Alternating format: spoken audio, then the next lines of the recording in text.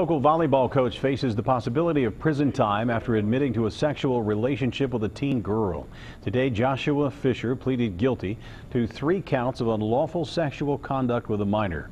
Fisher was a junior varsity coach at Lakota East High School, but the allegations involve a student at Centerville that he coached privately.